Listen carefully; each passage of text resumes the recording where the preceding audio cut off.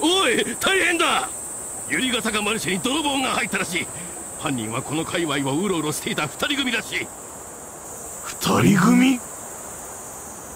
まさか君たちが。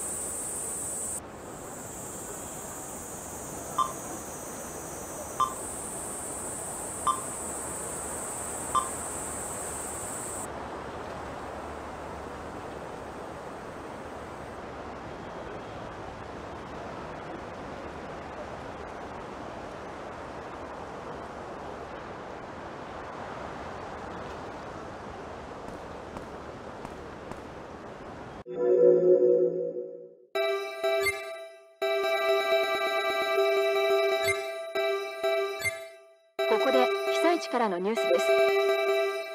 翡翠市の江西田団地駅前の倒壊した商店街のそばでこじ開けられた金庫が発見されました。